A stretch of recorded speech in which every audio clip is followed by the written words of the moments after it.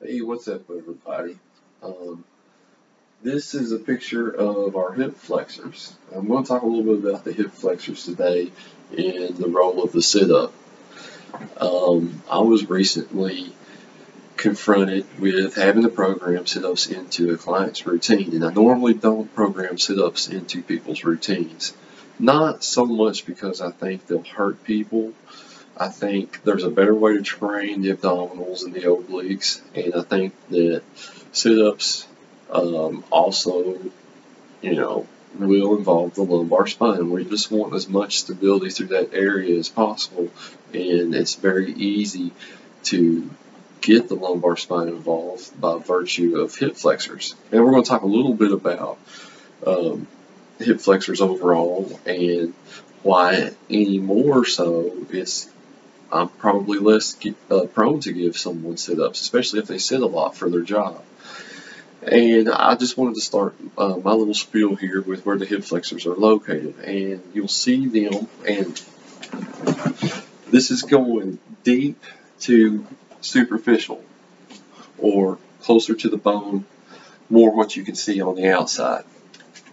And you see the iliopsoas muscle is composed of the psoas portion and the iliacus portion on the pelvis, and it's an interesting muscle group in that it attaches in the lumbar spine or originates, I forget which, and that's my bad.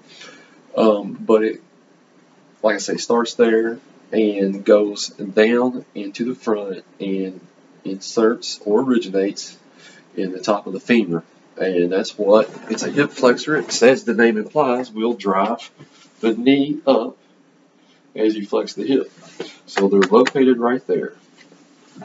Um, they are often short, or you know they're yeah short because you know you sit. They're not actively contracted, but they're short. And over time, that gives you gluteal amnesia. I've heard um, people in the fitness industry refer to this as gluteal amnesia. It's the lower half of the double cross syndrome that Shirley Sahrmann talks about. And you'll see it in people, the, up, the upper cross is the uh, shoulder posture forward, neck extended. But these are already tight, and we're doing nothing to dissuade that in any individual that sits a lot if we do a lot of sit ups. So, here I am with someone who is needing to pass a Armed Services Physical Fitness Test, which has sit-ups as a component. And as a coach, as a trainer, I want to get this person as uh, performing optimally as possible while minimizing injury. So that's a double that's a that's a crossroads right there for you because I consider my primary job is to keep you healthy as long as possible. Uh, but the second component is um, how to get you to perform optimally as healthy as possible, and, and there's a fine line there. So you always got to weigh cost benefit. And so I have a young man, and he's in good health. He's in good shape on the outside of things what we did was look at the sit-up, go back and see what's actually at play, and just kind of use your own judgment on it. And what I did was I looked back at the sit-up and I read some things about it and what gets people in trouble. First of all, let's just say, let's take out the injury component to it and let's see how people do. Well, people have an undue involvement in the exercise a lot of times by virtue of using the hip flexor muscle group a little too much in that exercise. And you'll see this when people will like pick the butt up, pick the belt buckle up, and then slam the butt to the ground and propel that torso forward toward the knees. As you can see, and I've got a little, for lack of a slide stand here, I've got um, an internet connection, and I'm going to use this to just reinforce and just kind of have the sit up in your uh, brain here. Um, as a point of reference.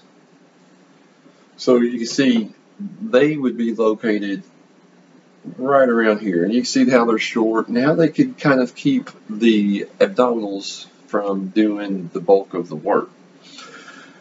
So, doing a little research and knowing what I know about anatomy, you can take out the hip flexor's role if you activate the glutes. It's either or because it those are both agonists and protagonists, you know, vice versa. If the hip flexors are working, the glutes are lengthening. And if the glutes are shortening, they, the hip flexors are lengthening. So what I try to emphasize personally in my um, clients programming um, is more gluteal activation type exercises and you got to have a nice natural S curve throughout that movement without any spinal flexion but a neutral spine throughout to target the hips. So in the sit up we place my clients heels in, right in front of an immovable you know piece of material. I think we had a Pilates um, reformer.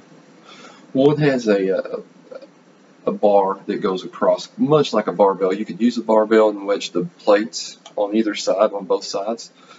And instead of having someone push down on tops of the feet, which does nothing to dissuade the hip flexors' involvement in this exercise, we want to push our heels back toward our butt and against that bar to promote gluteal activation and less hip, hip flexor so that work then shifts toward the abdominals. And that's what we did. And you and you promote a nice neutral uh, spine by virtue of that, and you also make the exercise shift more toward the abdominals the way they should be. But you know, then I'm, I'm still watching double time at his spine to make sure everything's nice and sound. And if I see that lumbar move, um, then you know you cut it because you don't want to train wrong. And you know we get back into it once you know I give them feedback and and see what's going on and see if we can't correct it go back into it. But that's my thoughts on the sit-up. I didn't dismiss it out of hand. I've done I've grown up doing sit-ups uh, all my life and never been hurt. I can definitely see why you wouldn't program that into the general public and I can see why over time it would be um, you know a bad habit to get into. But if you do them right, if you have, you know, some of these built-in external things like a chair or um, a pad for your chest to go down on a push-up to keep your neck in alignment with your torso, then you know, you know you're doing well. Even if you don't have a coach, you know you're going, you know, at least 85% there, and that's usually pretty good. And you know, like I said, the young man was uh, young, he's healthy. I didn't feel bad about giving him sit-ups. I normally don't program the sit-ups at people's core part portions of the routine simply because I don't think that's the abdominals intent. I think it's more designed to resist momentum and that helps shift a more better understanding of using your glutes where and maybe habitually in the past you've been using your lower back. So just my thoughts on an interesting situation.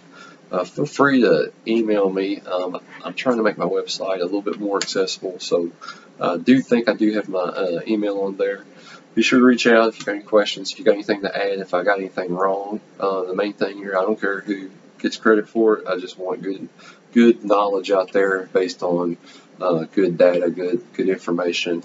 So, um, keep watching. I'll keep writing, keep posting exercises. We'll talk to you.